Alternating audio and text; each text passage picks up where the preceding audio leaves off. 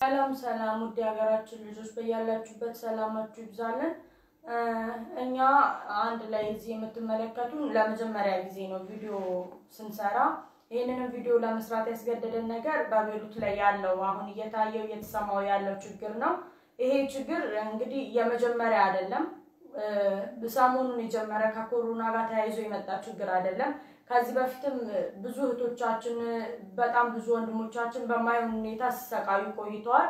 አሁን ደግሞ ችግሩ ከአቅም በላይ አውጥቶ ስለመጣብን ይህን ቪዲዮ ለመስራት ተገደናል። እናም ስራ የለም ማለት ጸቡ ከተጀመረ ጊዜ ጀምሮ በዶላር የተነሳ ስራ የለም። የሚከፈለን በጣም የሞተ ብር ነው። እሱ ደግሞ ለቤት ኪራይም ለቤተሰብም ልከን ምንም እጃችን ላይ ሊተርፍ አልቻለም።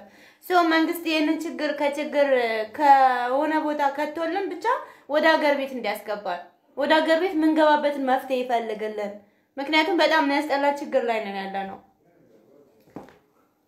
በአሁኑ ሰዓት ውስጥ እኛ ያለ ነው እስካሁን ልንሳፈር ያዘጋጀነውን ብር ማለት ነው እሱን ነው እየተጠቀምን ያለ ነው። አሁን እሱን ብር ጨርሰናል። ከአሁን በኋላ ምን እንደምንሆን አናውቅም። እጃችን ላይ ምንም ነገር የለም።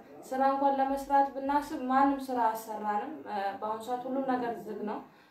በጣም በቃ ከቤት መውጣት አንችልም። በጣም ችግር ውስጥ ነው ያለነው እና አንድ በሉ ያው እኛ የምንፈልገው በዚህ ሰዓት መሳፈር ወደ ነው። ሀገር በጣም እየተቸገርን ያለነው። ሁላችንም በቤት ውስጥ ያለነው ሰዎች ስራ የለንም እና የሆነ በቃ ምን- የምንሄድበትን መንገድ እንድታመቻቹልን share share እንድታደርጉልን ነው የምንፈልገው። አዎ እና ይህንን ለሚመለከተው አካል እንድታደርሱልን ነው የምንፈልገው። ከአሁን በኋላ ነገ የሚደርሰው የእኛ ዕጣ ጎዳና መውጣት ነው እና እባካችሁ ይህንን ቪዲዮ ለምታዩ ሁላችሁም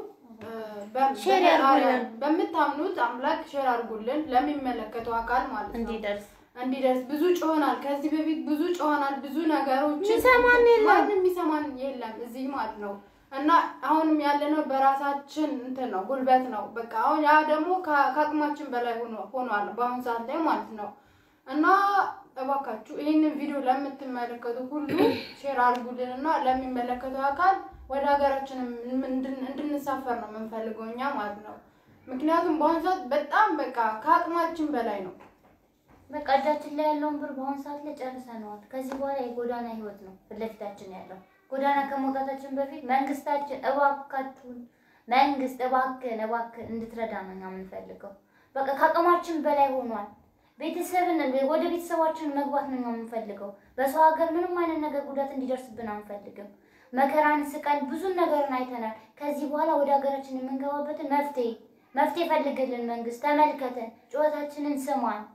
Okay.